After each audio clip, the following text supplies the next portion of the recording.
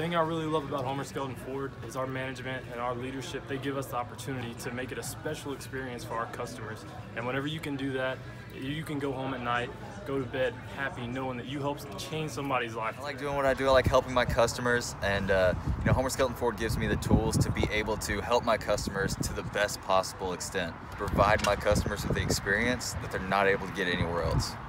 All right, what I like about Homer Skelton Ford is that when customers come in, we're building an experience for them that's not like any other car dealership. We treat them like they're our family here.